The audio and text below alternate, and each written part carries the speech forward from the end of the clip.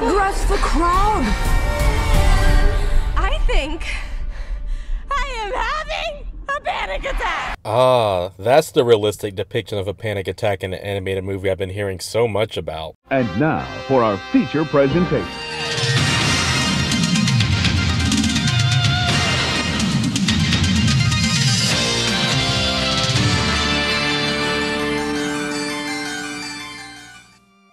Ruby Gillman Teenage Kraken was on my list for summer movies I'm not excited for. So many better movies are coming out. Barbie's coming out! Let's go! Ruby Gillman Teenage Kraken is about Ruby Gillman, a teenager who learns that she comes for a royalty line of underwater kraken. Now she must balance her teenage life and kraken life. Everyone has been saying DreamWorks is in its comeback era. The Bad Guys was really good with animation that feels like a perfect mix of 2D and 3D.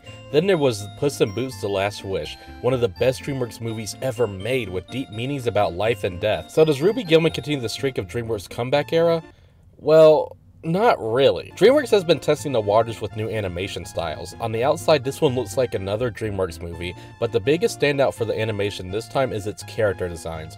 Honestly, from the trailers, they do look kinda weird. I mean, look at this guy, L look at this guy! But they have charm to the designs, especially Ruby's family. Since they're water creatures, they don't have spines, meaning the animators have gotten a lot of leverage out of using squish and stretch animation for Ruby and her family. Whenever they move, they have a lot of bounce and bend to it, and it's all really charming and fun. The movie is also blasting with color, so that helps compensates for some of the weird design. The underwater world looks bland though, and they play this majestical music as Ruby traverses through the underwater for the first time, and visually it's not that impressive at all. Literally she saw a few lights and a couple of whales, but Power to her for being mesmerized, I guess. Ruby Gillman herself is a likable protagonist. In fact, everyone is serviceable in this movie. The voice acting is fine, and the characters are just fine.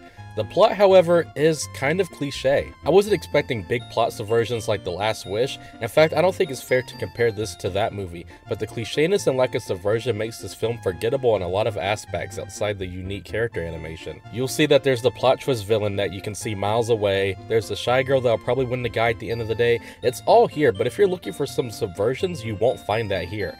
The bright side to this though is this movie is extremely fast paced, making this an easy watch and exceptionally breezy. I would go as far as to say it's one of DreamWorks' most quickest movies. You'll be in and out like that, so it was a nice quick watch. The dialogue in the trailer really scared me away at first. It sounds like Christopher Walken high school dialogue. How do you do, fellow kids? Anything for my algebra? You what now? I mean, bro.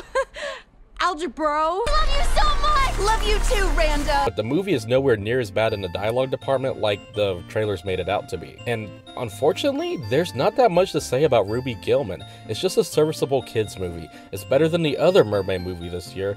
However, if you're looking for that new Spice DreamWorks that's been putting in their movies, you'll probably be disappointed.